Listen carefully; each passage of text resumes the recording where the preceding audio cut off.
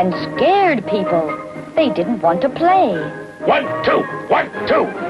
They wanted to march. One, two, one, two. That was their idea of fun. One, two, one, two. When he could see us. And when we looked around, the toy shop didn't belong to us anymore.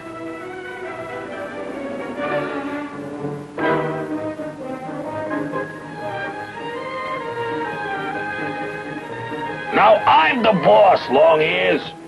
No more playing, just marching. You too.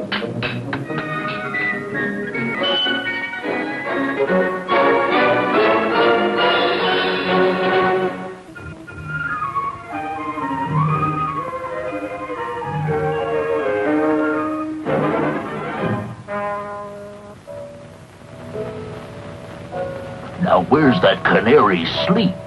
There? Hey, that canary's a phony. Where's the real canary? In there? It's empty. Say, I hope he didn't get kidnapped by somebody else. Wow. Look at that statue. This Mrs. Schmergesberg must be a millionaire. She'll pay a fortune to get her little bird back. And there he is. One and one is two, and two and two is four, and three and three is six, and four and four is eight, and five and five is ten, and six and six is twelve, and seven and seven is fourteen. Hey, what's the big idea? Let me out of here. Who are you anyway, huh? Now don't shout so loud, kid. You're gonna stay in my house. Then you can write a letter to Mrs. Schmergersberg. You can ask her to send me 5,000 cans of cat food. And as soon as it arrives, I'll let you free. If you're a good boy. But if you give me any trouble at all, I'll have to eat you up. Ah! Ow! My foot! My aching foot!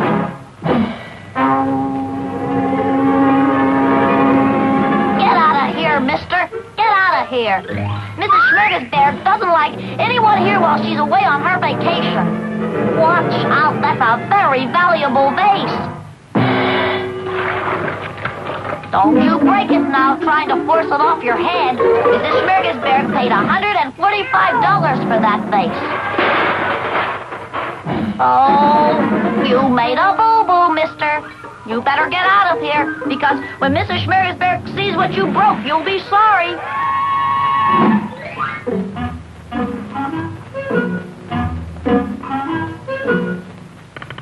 Oh, I got a headache.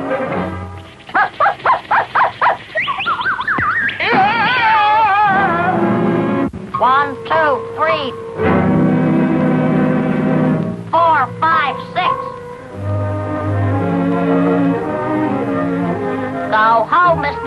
you're gonna get chased home by my little dog.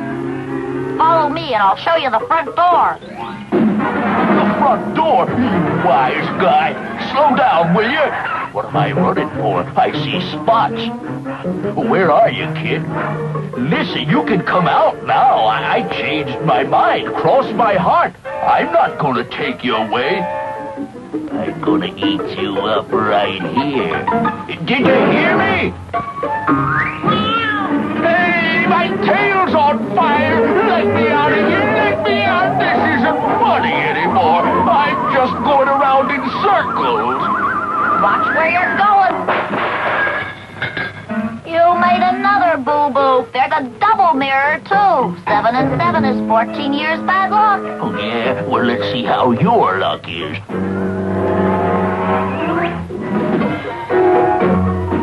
Now, don't you do that. Stop it, stop it, stop it, stop it! You monster! Please, mister, go home and stop wasting your time. Who's wasted any time? Oh, my stomach. Ugh. All right. I'll go home, I promise. The front door is open. Just walk past the sofa. Walk past the sofa. Yes. Now what do I do? Take a right at the armchair and walk down the hallway. Take a right at the armchair and walk down the hallway. And then?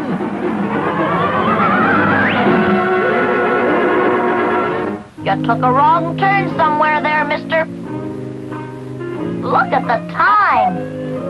I gotta get back to my homework. Say, you don't fit in that cage. I'm putting you on a diet, okay? Bird seed and water. In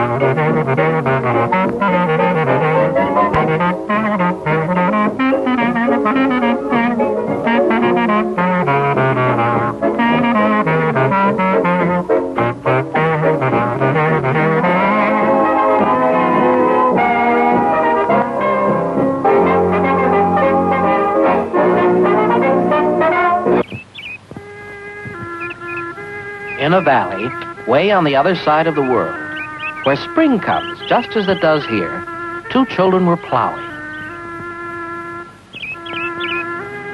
It was hot, hard work. Hard for Tina. Harder still for Tommy, who had to push the plow. It's Farmer Moneybags come to get his horse back. But we haven't finished yet. Already with my horse, my little ones? You've had him a long time, and now I need him back to do my own work.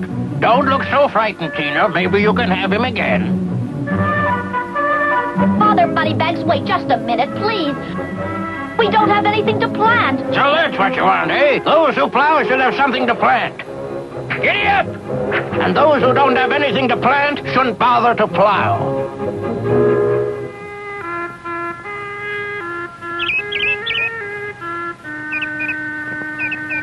I wish old Moneybags weren't so stingy. He's got oceans of wheat. He can't ever use it all. What do you want? Out of here before I roast you up for supper. Ah, ah, ah. Take these three grains then, but get out and stay out.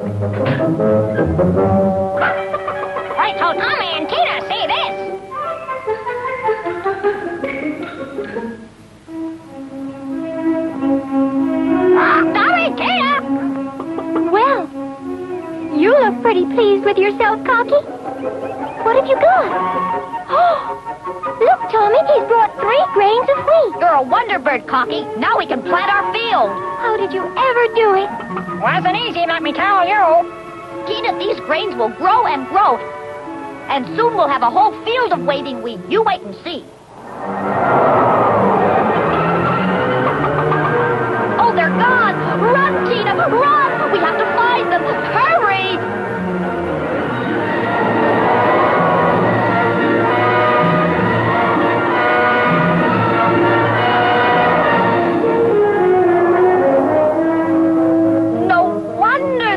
Such a gale. It was Grandpa Whirlwind passing by. They're lost forever now. Even if he didn't mean to do it. No, Tina. Not lost. Not if I can find Grandpa Whirlwind. Wait for me. Let me come too. It's too far, and I don't know how long I'll be. I don't care, Tommy. I'm coming with you.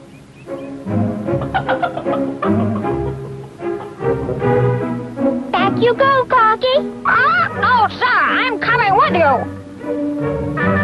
Tommy and Tina and Cocky trudged on and on and on. But not even a whisper of a wind did they see. Oh, wait a minute. What's that? Did you feel that breeze? He must be somewhere near.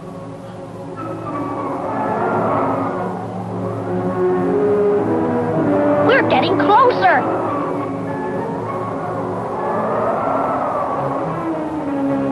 If you're looking for Grandpa Whirlwind, he's over here. I can feel his breath on my wings. There he is. He's taking a nap.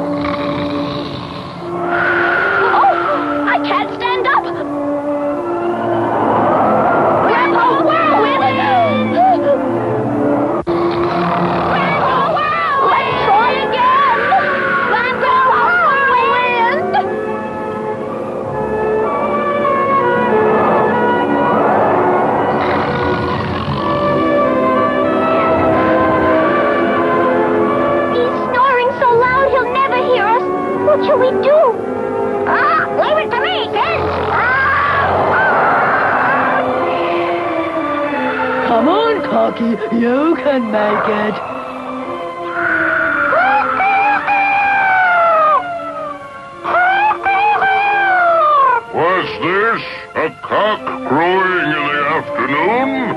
And I was having such nice dreams, too.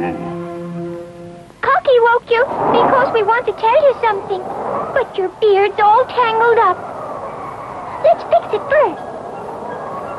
Goodness, what a mess. I never saw such a tangly beard. We'll have you all untied in a jiffy. There you are. Thank you, children.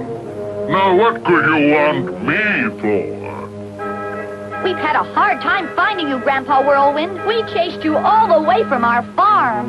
But what for? Our three grains. You blew them away.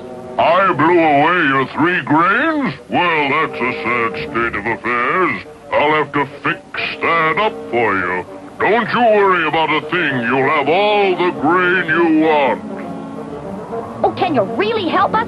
Because they were all the grain we had. Hop up on my shoulders and I'll tell you what I'll do. My beard picks up stray grains of wheat from all over the world, from lands that are east of the sun and west of the moon. And when we get back home, I'll comb it out for you, and then you'll have all the wheat you want. Oops, I almost lost my cat. Don't get dizzy now.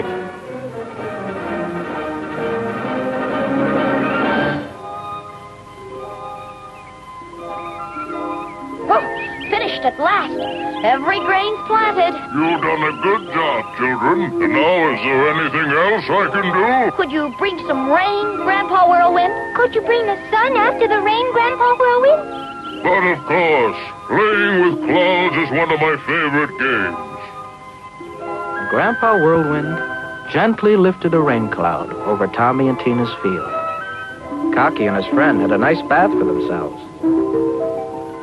And when it had rained enough, blew away all the clouds, and the sun shone down bright and warm. Up rose the wheat, higher and higher, until it was taller than Tommy and Tina. Goodbye, Grandpa Whirlwind. Come back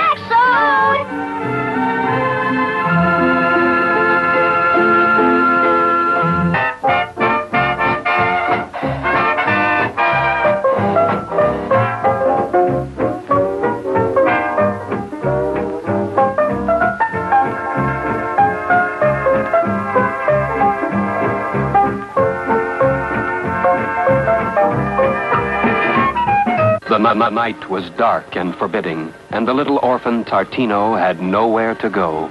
But he was skipping for joy because he had found three gold coins. There was only one thing wrong.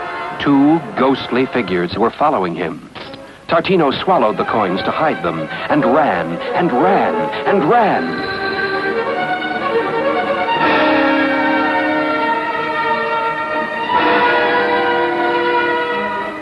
But the robbers were too fast for him. Quick, give it the loot. Cough it up or we shoot. Shake a leg, Kiddly-O. These gats ain't for show. They turned little Tartino upside down to shake out the coins. But he pulled the wool over their eyes and escaped.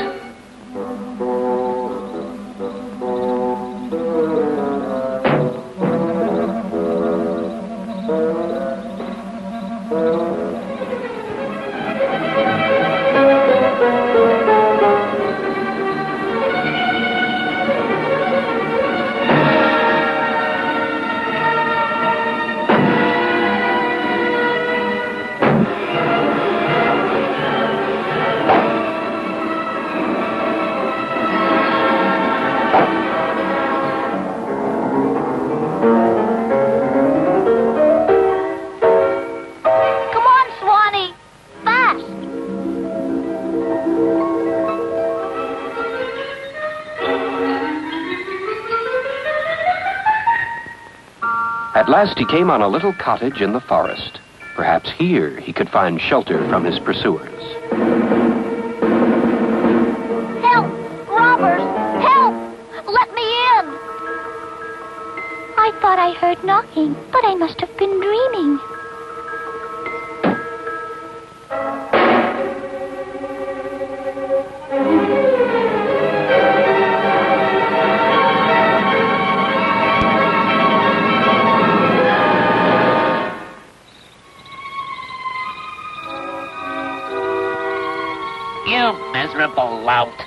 better fall out. now he's hooked. He's fit to be tied. Well, that does the trick. Them coins sure do stick. Okay, kid, drop 'em here. We can't wait all year. And that's where you're staying. We'll be back in the AM.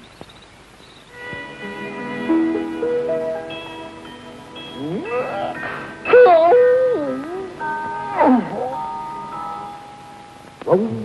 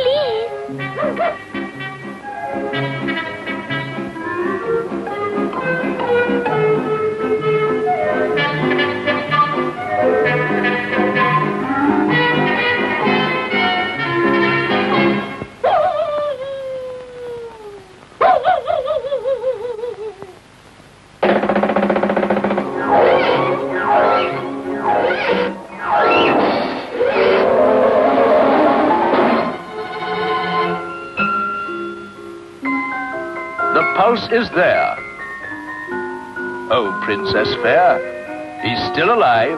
He'll soon revive. Oh, doctor, doctor, what shall we do? The poor thing looks as though he's through. Learned colleagues, I recollect a similar case in Oh, where am I? Where are the robbers? Dear boy, they are gone and you are safe. But what were you doing so far from home? Did you run away?